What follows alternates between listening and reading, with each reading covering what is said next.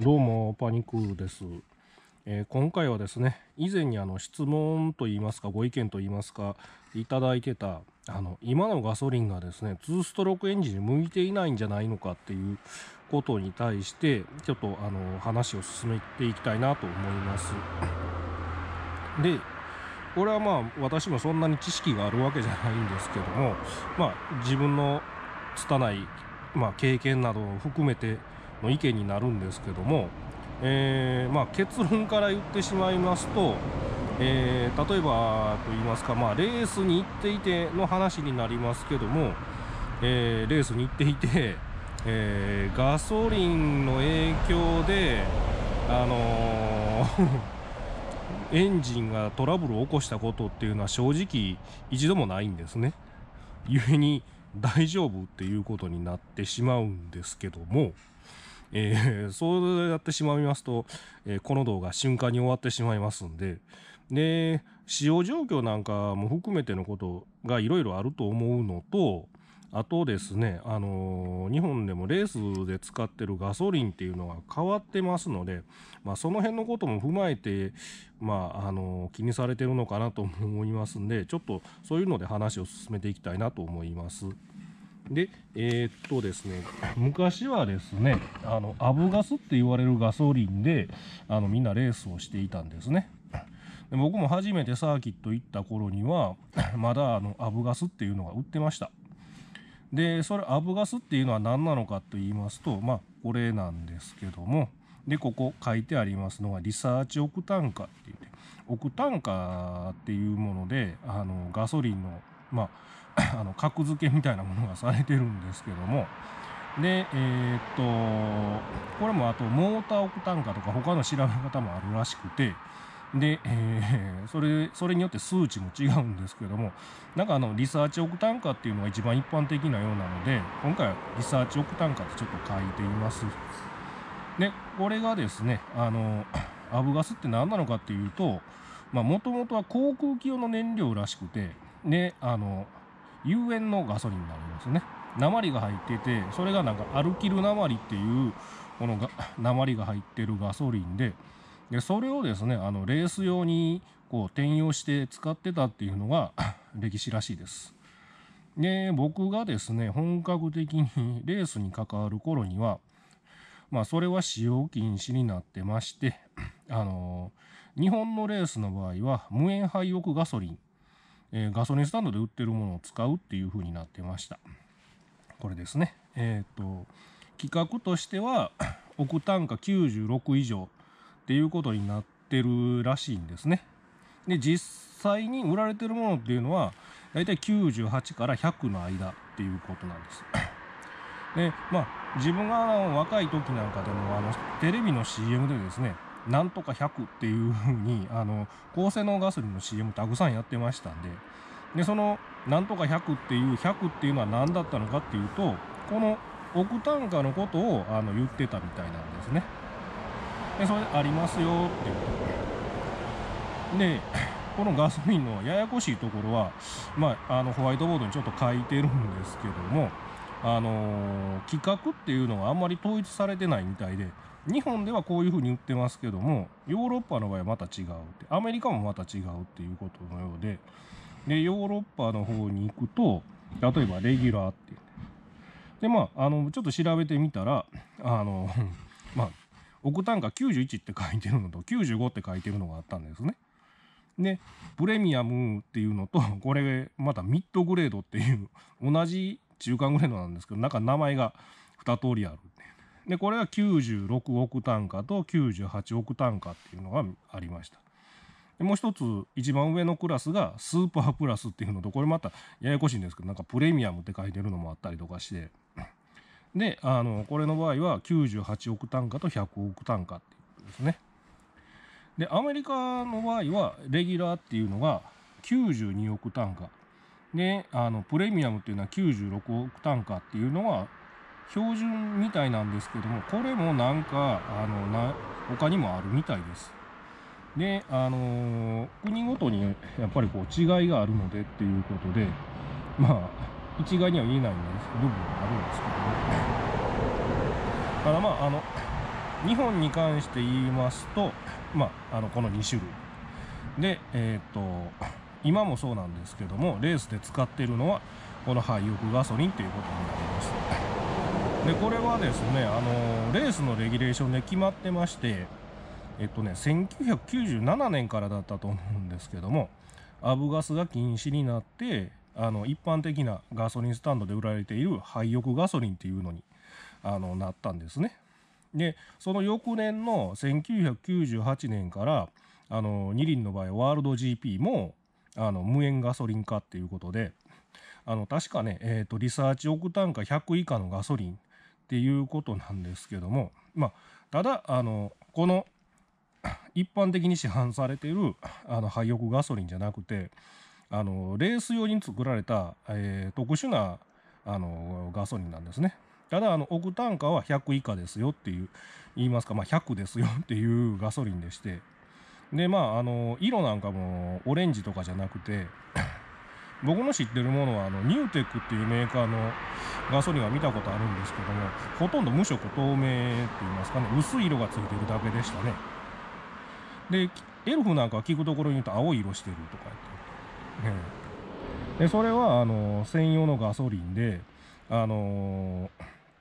レギュレーションで、まあ、決まった成分以下であればっていうことであの承認とか取らないといけないんかなとは思うんですけども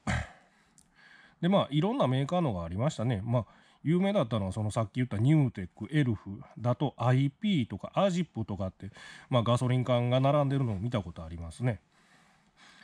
でまあもうちょっとあのレースの話をしますとでこれガソリンもあのそうやって決まってからあのちゃんとね、えーと、レース後とかにあの調べるんですよ。で 例えば日本の場合は本当に厳しくてあの廃屋ガソリンやったら何でもいいのかって言ったらそうじゃなくて、えー、開催されるサーキットで売られているものかそのサーキットの指定しているガソリンスタンドで入れたものでないとダメなんですね。であのー、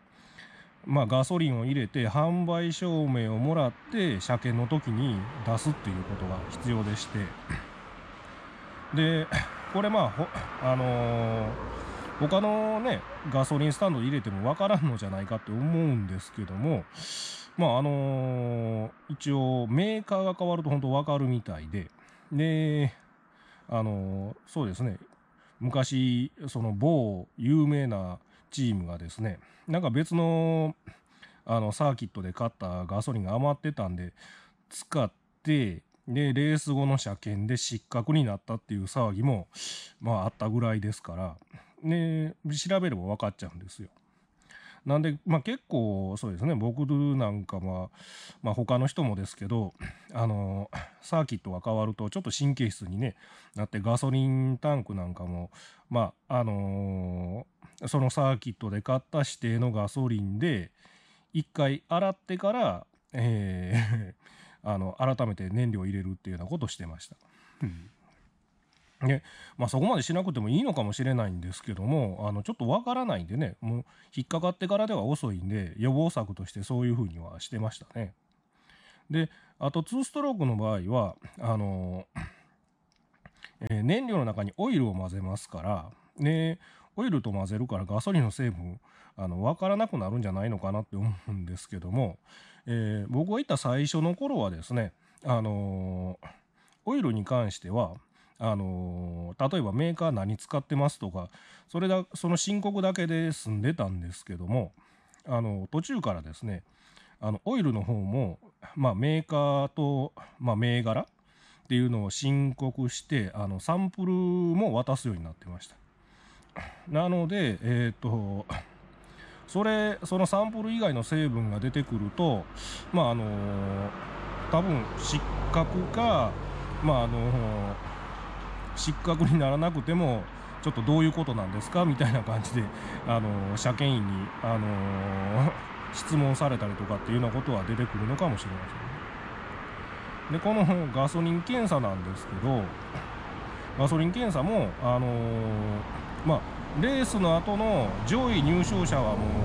当たり前としてあとねあの予選の後なんかも終了後にですね抜き打ちでねあのチェックされたりとかっていうのもありましたね。予選が終了してライダーがあのピットに帰ってくる時にあのオフィシャルが、えー、止めてでその場であのガソリンの抜き取りをするっていうようなこともたまにやってました。なんであのこと日本のバイクレースにおいてはあの、えー、現状あの隠れてスペシャルなガソリンを使ってっていうようなことは、まあ、ほぼありえないっていう状態なんですね。でまああのまあそういうことですんで、まあ、みんなあの本当にあの街で売ってるこの廃屋ガソリンこれで走ってますっていうことでこれはもうワークスのバイクでもあのプライベートのバイクでもこれは一緒です。であの話が分かりにくくなるのが例えばあの元 GP とかえっ、と例ええー、そうですねあと日本であるものって言ったらあの鈴鹿の8体ですね鈴鹿の8体はあれあのえっ、と世界耐久選手権というのになってまして世界選手権のレギュレーションで行われてるんでガソリンの規定も世界選手権に合わせてるのであのこれの縛りが外れてるんですよね。でですのでその MotoGP とかと使ってるのと同じようなガソリンあのいわゆるエルフのそういうレース用ガソリンとかそういうものがあの使われてますね。でまああの何が違うのかっていうと、まあ、まず値段が全然違うっていうのから始まってでオグ単価はねほぼ一緒なんですけどまあどういう成分が入ってるのか僕も詳しくは知らないんですけどもあのまあ、タイノック性を上げてあるんですね。だからノッキングは起きにくいから、あのー、燃料をこう薄くして使っても、えー、大丈夫っていう。あのー、普通に売ってるこの廃屋でそれをするとエンジンが壊れてしまったりとかっていうことになりますんででそういうことができるっていうガソリンのようですね。実際あの僕もが昔もう昔あのワールド GP にねスポット参戦の時に行った時もあのやっぱりその当時からやっぱり億単価はあのこれと一緒なんですけど その GP 用のガソリンって言ったら成分が違うんであの GP の関係の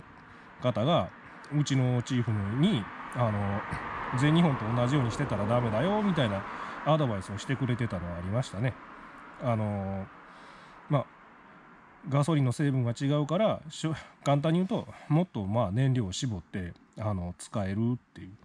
まあそうするそうしないとあのちょっとこう、えー、燃料が濃い状態になってちゃんと走らないっていう そういうことになるんです。なってたみたいですからね。でまあそんなこんなもあって本当にねあのー、ガソリンっていうのはいろいろあってします。で話を戻しますとで2ストロークはそれで壊れるのかと言いますと壊れないっていうことになるんですね。でただあの使用状況に関して言うとまあサーキット走行される方より街乗りされる方の方が多いと思いますんであのこのレギュラーガソリン、まあ、オクタン価90と98から100って相当差があるんですね。でアブガスっていうのはあの調べてみるとあのオクタン価102ぐらいあんまり差がないんですよね。であのなんか別のものを見ると110っていうのもあって110っていうのも売ってたのかもしれないです。であとはあのえー、っとエルフガスって言われるものも売って昔は売ってたんですね。でこれもあの規制が入ってあの使用禁止になったはずです。でその後に無塩ガスになっていってっていう段階を踏んでるんですね。でついで的なんですけどもこれ エルフのカタログなんですけどもちょっとこういうものがありましたんでこれにねあのレース用のガソリンとかのことが書いてあるんですよ。これ。これ4ストローク用のレースガソリンですね。で横にですね2ストローク用のレースガソリンっていうのが売って書いてまして まああの20リッター3万円ぐらいする相当高級なものですね。で、この2つがですね、FIM の認定品っていうことで、あのー、世界選手権とかで、まあ、今使われてるのはこれになるでしょうね。あの、MotoGP とかスーパーバイクで使われてるものだと思いますね。でこ隣の、あの2ストローク用っていう方はですね、まあ、2ストローク時代のなんか技術でを生かして作られたっていうことをねこれ当時使ってたものとは違うとは思うんですね。そうこういう書き方ですで。ただまああの 奥単価とかはこれリサーチとモーターと両方書いてありますね。ねこう細かく書いてあるんですけどまああのよくわからない部分もありますね。まあただこういうのをちゃんとあの決められたものを使ってるっていうことですね。で昔はですねあのスペシャルなあの本当にあの専用に開発したガソリンとか使われてたみたいなんですけどやっぱりそういうのもコスト削減ということでだんだんと抑えられていったようですね。でそのコスト削減される前のことっていうのはあのこれちょっと前に買ったあのハイパーツーストエンジンの探求って言って NSR500 を題材にするこの本なんですけどでこれの中にちょうど書いてあるんですよでも。これが書かれたのは1994年とかのようでしてちょうどそのワールド GP でガソリンの規制が入ってきた頃らしいんですね。でまあちょっと中身を見せるのは良くないかもしれないんででその当時のことを見るとあの93年までホンダのワークスマシンが使用していたのはあの124億単価ぐらいのそのまあアブガス124っていうのの相当品であろうっていうことなんですけどだからこれもあのやっぱエルフと共同開発で作られたあの専用品になったようですね。でその後あのそういう規制が入ってあの億単価が下がるんですけどでそれでも94年はまああのリサーチ億単価でいうと120ぐらいのあのガソリンが使われてたと思われるっていうようなことが書かれてますね。ですんであのガソリンとかってっていうか燃料がね種類がありすぎて本当になかなか難しいんですけども、まあ、こういうものもありましたっていうことでで話をちょっと戻していって一般的な方に行きますと あのまあ当時の2ストロークの市販車っていうのはあのレギュラーガソリンでこ基準で作られてますんで で普通に考えるとレギュラーガソリン使って全然あの問題はないんですよ。で廃屋って廃屋はダメなのかっていうとそうでもないんですけどもあの結局この億単価の違いって何だっていうと億単価が高い方がすごく簡単に言うと燃えにくいんですよね。で燃えにくいガソリンなのであの圧縮を上げたりとかしてもあのー、大丈夫っていう風な作りなんですよ。でそれが例えばあの特にあの2ストロークのバイクなんかで、まあ、ツーリングとかメインであんまり回さない人とかになると燃えにくいガソリンを使うとくすぶっちゃう傾向になるんですね。なので あのあんまり回さない人が廃屋を入れるとかえって調子が悪くなるっていう可能性はありますよね。でもしかするとその言われてるのはそういうことを言われてるのかなとも思いますしそのガソリンの洗浄成分のことっていうのを言われてるのかもしれないんですけどまあこれはもう個人的な考えなんですけどもあの潤滑っていうのはオイルで進むのって思ってますんであのその辺りについては大丈夫だと思います。どちらかといえば使用状況に合わせたこうガソリンを選ぶっていうことが大事なんじゃないですかね。ただこれ気をつけないといけないのはあの例えばサーキット走行するとかあのスポーツ走行でその高回転をずっと使うっていうんであればこれおのずとどちらの方があのいいのかなっていうのが出てくると思うんですね。ずっと高回転を使う状態ですとあのこっちの方がノッキングとか起こしにくいですよねっていうことになりますね。ただあのスタンダードのままでしたら基本的にあのこっちのレギュラーで作られてますから問題は出るはずがないんですけどもただあの改造されて例えば、えーと、チャンバーをつけてるとか、あのエアクリーナーを外して直キャブになってくるなってるとかってなるとあのキャブセッティングのまあ関係もあるんですけどもこっちの方がいいんじゃないのかなって思いますね。でさらにあのちょっと ややこしいのがあのリミッターカットですね。で車種によったらあのリミッターカットしたらその点火マップが廃屋用に切り替わるようなのもあったと思うんでそういうのになるとあのその時点で必然的に廃屋してっていうことになるんでこっちですねこっち使わないとあのレギュラー用の点火マップじゃないっていうことで本当にあの下手すると壊れるかもしれませんからね。ですんで、まあ、その辺りのこととか使用状況、まあ、バイクの使用そういうものであの選ばないといけないっていうことですね。少し話を付け加えますと例えばあのサーキット走行される人とかそっち向けの話になるんですけども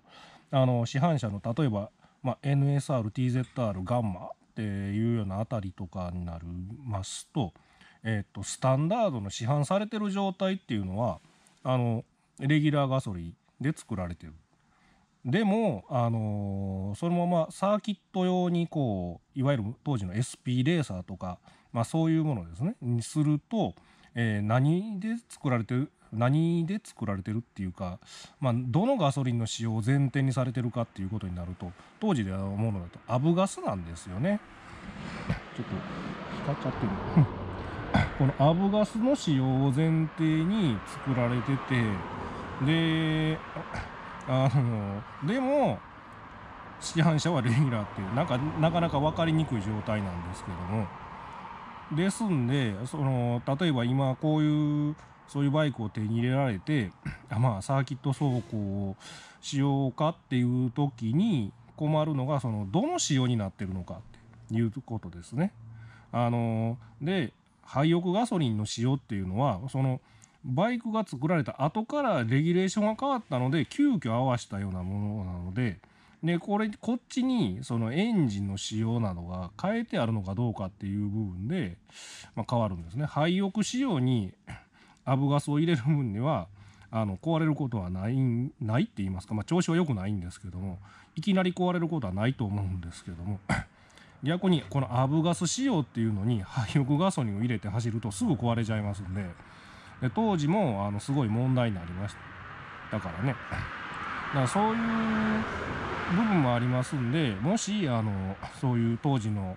え SP レーサーとかでサーキット走行を頼、ま、楽しまれる方はあの気をつけた方がいいですよね。で もうちょっと付け加えますとあの当時の GP レーサー RS とかあの TZ っていうものですねあれっていうのもあのもともとはやっぱりアブガスの使用を前提にこれを使用を前提に作られてたんですけども あの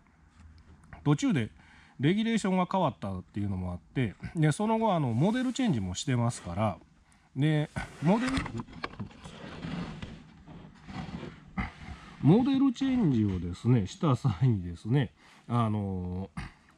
そのモデルチェンジした後の年式のまあえっ、ー、と廃屋使用っ